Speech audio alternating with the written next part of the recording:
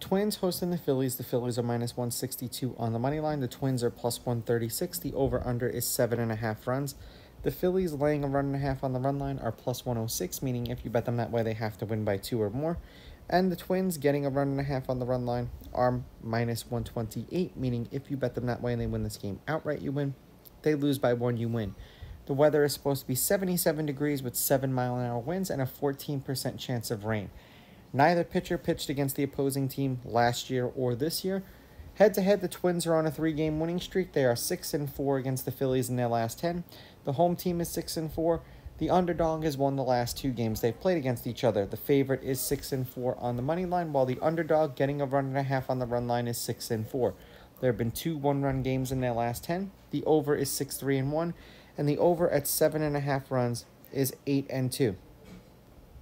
The Phillies are 3 and 2 in Wheeler's last five starts. They've won his last two starts. The over has hit in his last five starts.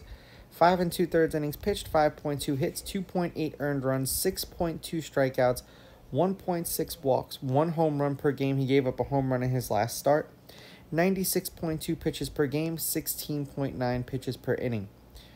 For the Twins, they're 4 and 1 in Woods Richardson's last five starts. They've won his last four. The unders hit his last two. The over is 3 and 2.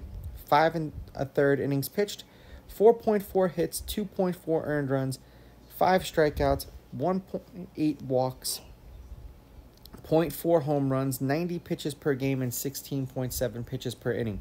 So as long as the starters are in the game, if they're doing what they're supposed to do, this should be a low-scoring game until the bullpen gets involved.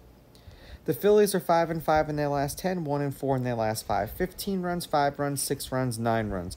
7 runs and a loss, 1 run and a loss, 6 runs and a win, and then 2 runs in a loss. And for the Twins, they are 1 and 3 in their last 4, 5 and 5 in their last 10. 5 runs, 12 runs, 15 runs, 9 runs.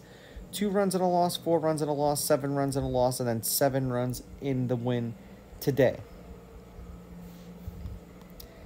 This is just which pitcher do you trust a little bit more. I'm going to take the Phillies with the money line. I will take the Twins getting the runs, and I'm going to go under and just hope that the bullpen doesn't really destroy this game. These are just my picks. If you disagree, please go with your gut, and please bet responsibly.